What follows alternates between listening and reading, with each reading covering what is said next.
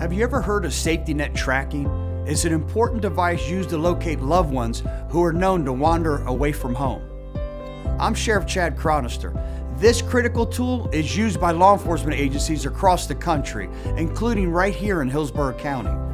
For those who are diagnosed with Alzheimer's disease, autism, dementia, or other cognitive conditions, caregivers can employ safety net tracking, a bracelet powered by radio frequencies.